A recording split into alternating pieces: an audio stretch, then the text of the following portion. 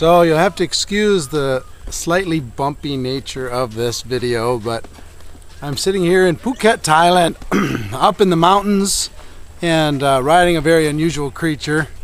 You know, there's a lot of ways that people can make a living in this world. You could have blue collar work, and that, that's fine. You can have you could work for a company, and that's great too.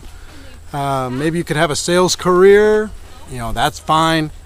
Uh, or you could have a traditional business that you start. But I'll tell you what, I can't pick, think of a better thing to do than a non traditional business like network marketing. Network marketing has given me the ability to do all the things that I enjoy doing, spending time with my friends, working with people that I really enjoy working with, seeing the world.